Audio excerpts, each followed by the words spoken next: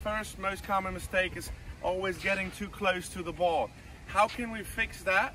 There's a really good tennis. One, two, three. Boom, and I have to hit it. And again, the ball's coming. One, two, three. Here we go. And one more. One, two, three. On that last one, the ball was fetched shorter, so I had to move up. So that was three bounces. Now, I'm only allowed to ball, let the ball bounce twice. One. And here we go. See, now I'm focused on that ball. One, two. that's one more shorter, so I have to move up.